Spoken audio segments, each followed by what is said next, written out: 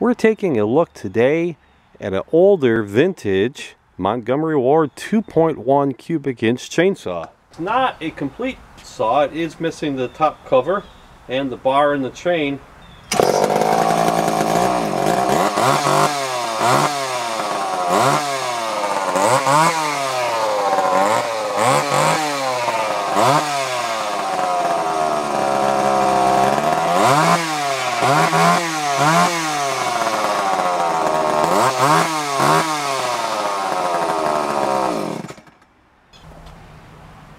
Vintage King Motorsports, when quality and price matter most.